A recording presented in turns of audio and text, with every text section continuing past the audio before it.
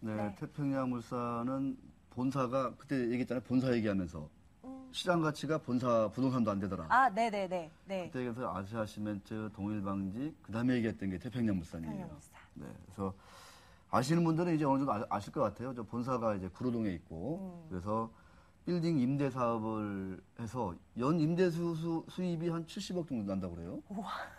대, 단한 회사죠. 그건 네. 그것만. 대단하네요. 네. 거기다가 이제 그, 그 다운 뭐 오리털 다운이라고 해가지고 왜 그 파카에 들어가는 그런 거 있지 않습니까? 네. 그거도 하고 이불에 어. 들어가는 솜 같은 거 요것도 좀 하고 어. 거기다가 이제 그 OEM 의류 네. OEM을 또 많이 해서 음. 매출이 상당히 좋아지고 있습니다. 음. 오늘 이제 그 들고 나온 이유는 아, 사실은 이제 그 super rich들은 뭐 삼성전자라든가 현대차라든가 이런 주식들을 많이 좋아한다고 하는데 그 저는 이제 주로 이렇게 그 철저하게 그 소외된 그 저평가 주식들을 한 번씩 좀 길게 투자해 보면 어떨까라는 네. 생각이 드는 거고 실제로 그렇게 투자하는 사람들이 있기에 한번 같이 음. 한번 우리가 한번 그 비교해 보자 이렇게 네. 말씀을 생각이 들어서 앞서서 삼성전자나 현대차는 슈퍼리치 PB들이 손대는 네. 종목이라면 네. 이 종목은 슈퍼개미가 손대고 있다고요. 그렇죠. 어.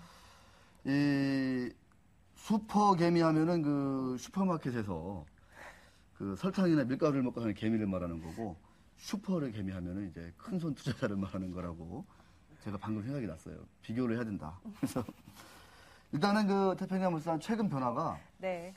그 오너들이 지분을 뭐 많지는 않지만 조금씩 이제 샀더라고요. 그래서 어. 과연 그게 무슨 의미일까 한번 좀 봐야 될 것 같습니다.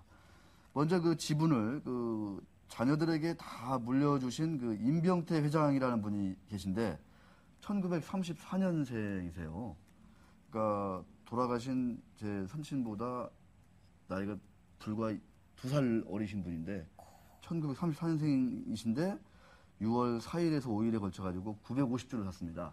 이미 다 오. 지분을 이제 물려주신 분인데. 네, 또 샀어요. 네, 그래서 이게 과연 왜 사셨을까? 이런 음. 궁금증이 좀. 어, 그러네요, 진짜로. 일만 하셨습니까? 예. 또 하나 이제 그 지금 사장이죠. 어, 경영권을 어, 승계받은 임석원 사장은 1974년생으로 저보다 한 살이 어린데 이 임 사장의 장모 되시는 이호숙 씨도 5월 달에 천주를 샀습니다. 그래서 이제 나이 드신 그 회장, 그 다음에 네. 장모, 이, 이호숙 씨는 50년생이신가 아마 그렇더라고요, 보니까. 그래서 하여튼 천주를 사가지고 두 분이 합치면 한 2천주 가까이를 샀습니다. 뭐, 많지는 않죠. 이 태평양 물산의 유통 주식 수가 그렇게 많지는 않은가요? 없어요. 아. 이거는 많이 사고 싶어도 살 수가 없습니다. 그만큼 다 물량이 가지고 있어요. 그래서 네. 이제 최대 주주를 비롯한 특수관계인 지분은 39.06%. 이렇게 되겠습니다. 이 태평양 물산은 말씀드린 대로 그 임대 사업, 음. 그다음에 기존의 그 섬유 의류 의복 사업을 하는 회사인데 어 3월 달에 어떤 일이 있었냐면은 대우 인터내셔널과 합작법인인 대우 팬 퍼시픽을 설립했어요. 대우 팬 퍼시픽. 예, 이게 상당히 네. 중요한 일인데 이 베트남, 인도네시아, 미얀마에 있는 그 세 개 봉제 공장을 그 대우 펜 퍼시픽에서 인수해서 운영하게 됩니다. 이렇게 되면 음. 태평양물산의 이제 본업이 확 커지게 되는 거고 또 하나 이제 이것을 통해서 H&M이라든가 어? JC 펜이라든가 네. 유명한 H&M. 유명한 브랜드 아니겠습니까? 네, 네, 네. 요런 데 또 OEM으로 옷을 또 수출하고 있거든요. 음. 이 사업이 한층 더 탄력을 받을 네. 것 JC 펜이는 그 백화점 이름인 거죠. 백화점, 이제 네. 백화점 브랜드로 많이 납품을 하는 거죠. 음. 자, 이렇게 대주주만 샀는데, 뭐, 우리 저 주식농부로 유명한 박영옥 스마트 인컴 대표. 이분은, 어, 태평양 물산에 어떻게 꽂히셨는지. 네. 어, 개인 지분이 14.5%. 대단합니다. 오. 그러니까, 네. 뭐, 주식을 팔려면 팔아라. 내가 다 사겠다. 뭐, 이런 기세예요. 그래서, 음. 어떻게 이렇게, 이렇게 사는 거는 웬만한 확신이 아니면 살 수가 없거든요. 뭐, 15% 가까운 지분인데, 무슨 확신이 없어서 이렇게 살 수 있겠습니까, 이걸? 음, 네. 어, 제가 여기서 물어봤더니, 이건 뭐, 10년 전부터 관심 있게 봤는데, 10년 전부터.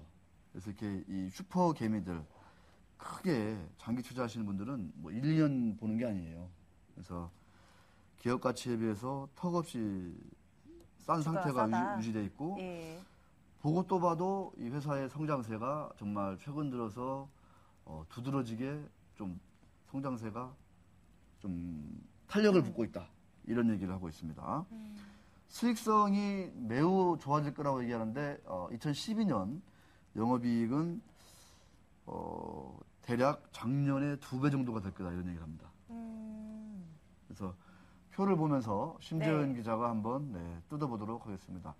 감히 영업무역하고 한번 비교해 보도록 하겠습니다. 작년 실적. 노스페이스. 네, 작년 예. 실적, 작년 실적. 아 작년 실적이군요. 네. 매출액 같은 경우는 뭐 절반. 절반, 수준인데 어, 영업이익은 조금 한안 나오네요. 10몇 분의 일. 그러네요. 예, 그 순이익도 조금 안 나오고요. 영업무역이야, 영업무역이야 뭐 워낙 예, 예, 우리가 저 완전히 대박 났지 않습니까? 대박 났죠, 영업무역. 그렇죠. 자, 자기 자본, 자본 총계는 한 5분의 1 정도 수준. 근데 시가총액은 네, 한 20, 어, 한 2분의 1, 22분의 1 정도 수준 되겠습니다. 그런 비율로 보면은 앞으로 올라갈 가능성이 그러니까 뭐 많다. 영업무역은 올해 영업이익이 두 배가 늘지 않잖아요. 그렇죠, 이를테면. 예. 근데 태평양물산은 이제 두 배를. 지금 기대하고 있다는 거거든요. 어떻습니까? 그 심재영 기자.